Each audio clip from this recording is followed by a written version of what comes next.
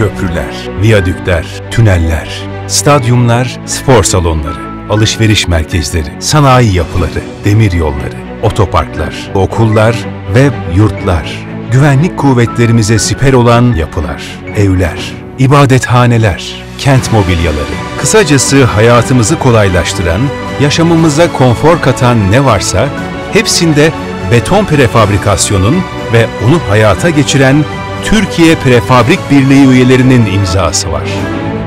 Hayata bakın, bize göreceksiniz.